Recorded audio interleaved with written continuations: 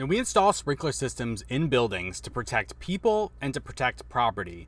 But after we install the system, it doesn't end there. We need to inspect, test, and maintain that system to make sure it's going to operate when needed. NFPA 25 is a standard for the inspection, testing, and maintenance of water based systems, provides all the requirements for inspecting, te- testing, and maintaining all of our water based equipment. That includes sprinkler systems. What it does is it outlines uh, the specific frequencies for the specific components. So we're going to look at Chapter 5 uh, right here, which covers sprinkler systems. 521 specifically covers sprinklers. Now, I'm just talking about the sprinkler inspections today. I'm not talking about all the other components of the sprinkler system. There's a lot more inspections and tests that need to be done in the entire system. We're just talking about the sprinklers themselves. Now, what we need to do is 5211, we need to inspect them annually from the floor level. What this means is I'm not getting on a ladder, not getting on a lift, just looking at the floor level and inspecting those sprinklers. Furthermore, we've got a requirement down here that states if we've got sprinklers installed in a concealed space, they don't require inspection. So we don't have to go make access to sprinklers in order to inspect them. It's literally just the ones that we can see from that floor level. What are we looking for? We're looking for signs of leakage. We're looking for signs of corrosion that's detrimental to the sprinkler performance. We're looking for signs of physical damage. We're looking for loss of fluid in a glass bulb. Now what this looks like is, here's an example of a sprinkler. We've got a glass bulb right here. Um, we want to make sure that that fluid's still in there. So the way that bulb actually works is there's an air bubble in there and then there's fluid. As it heats up, that air bubble is going to expand. Once it reaches a specified temperature, it's going to cause the whole thing to burst and that cap's going to come out and water's going to flow. If there's no fluid in that bulb anymore, it's not going to operate as intended. So we need to make sure that fluid's still there. One thing to pay attention to is sometimes that fluid can actually just lose its color.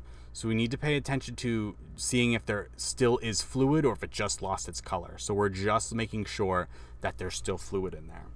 Here's an example of a sprinkler that uses a fusible link. So we wouldn't be looking for loss of color there um, because it just uses solder and then some frame uh, link arms in there to hold that water back.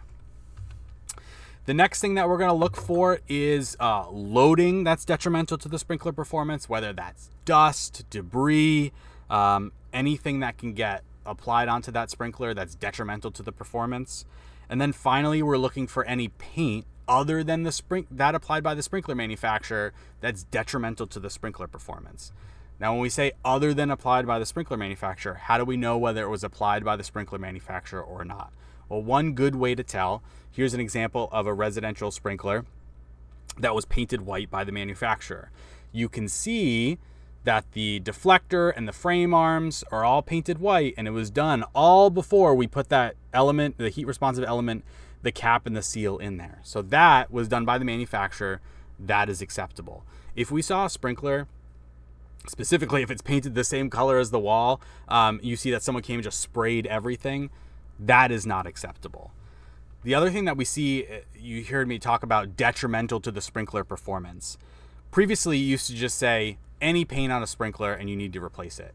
Well, the detrimental to the sprinkler performance allows the inspector a little bit of leniency um, when they're looking at it to determine if it's actually detrimental to the sprinkler performance.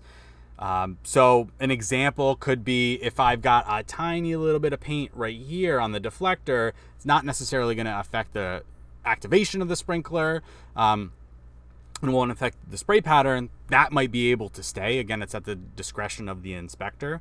Um, but previously, if it was any paint, then you've got to replace it. So a little bit of discretion uh, on whether or not it's detrimental or not. Another thing is if we've got paint on that orifice cap at all, that that would be detrimental, would not allow that sprinkler to operate. What you might see now is that inspectors, if you've got a bunch of sprinklers with the same type of loading, like paint or something on that, then they can send out samples for testing to make sure that they're all um, they're all having the same same heat response and they're still operating. So that's that's an example of something you can look at there. If you are interested in learning more about what that detrimental to sprinkler performance could be, there is that an annex section here that kind of goes into more detail on what that looks like. So that's what the inspection of the sprinklers, that annual inspection looks like. Are you getting this done in your facility? Are you doing sprinkler inspections? Let me know in the comments what's one of the biggest deficiencies you've seen when doing a sprinkler inspection. And don't forget to stay safe and stay informed.